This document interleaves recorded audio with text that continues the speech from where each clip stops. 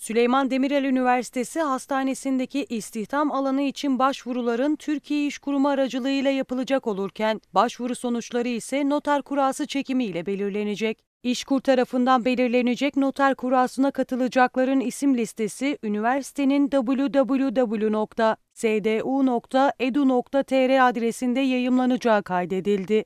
Yayımlanan ilana göre Süleyman Demirel Üniversitesi Hastanesi'ne hasta bakımı ve temizliği hizmetler birimine 62 personel, koruma ve güvenlik hizmetleri biriminde işçi kadrosuna ise 8 güvenlik görevlisi istihdam edilecek.